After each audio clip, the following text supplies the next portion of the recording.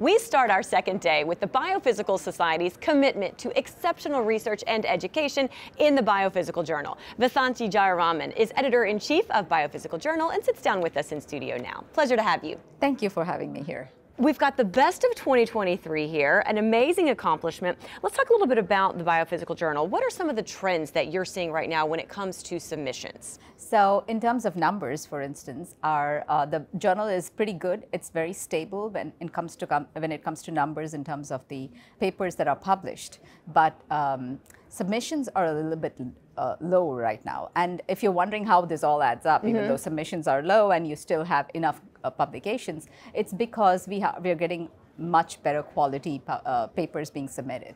So we have less rapid rejects, which means that most of the papers that are coming to the journal are going out to review and the whole goal of Biophysical Journal is not to act as a gatekeeper, deciding, oh, this, this work is novel or this work is, uh, is jazzy, but rather to improve the quality of the, uh, of the paper by working with the authors and providing them with constructive review. Interesting. So as you are soliciting more work and more research to be published, what are you looking for? So um, really what we're looking for is uh, research that has quantitative insights into biological processes. So it, it spans the whole spectrum, right? All the way from molecular to cellular to systems, even organism level. Mm -hmm. um, so to put it in simple terms, if you're submitting your work and presenting it in, uh, in at the society meeting, then your work is a, is a good fit for the journal. Okay. Really, the journal is the flagship um, journal for the society members. So it's a forum where the members can submit their work and,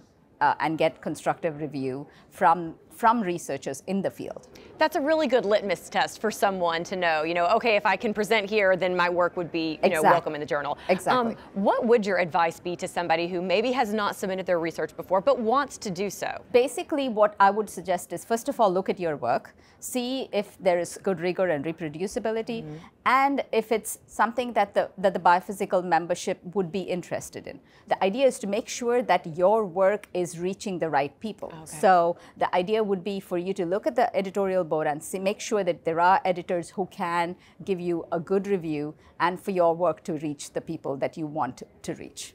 You know, there are several different journals for the biophysical community. How does the biophysical journal differ from the other ones? So, as I said, again, we have a very large editorial board. These are all editors made up of researchers and, and scientists who are leaders in the field. So, you get to be reviewed by the experts in the field. Okay. So, the whole goal, like I said, is for the authors to get a fair review. And fine, we are not going to be very high in the two-year impact factor that people like to be on where the novelty is tested, but uh, it's more about whether it stands the test of time. You will see that the, the papers that are published in biophysical journals are cited for years and years. So the, the lifetime for the uh, citations is significantly longer, and that just shows you the quality and, and the rigor and reproducibility of the work that's published in BJ.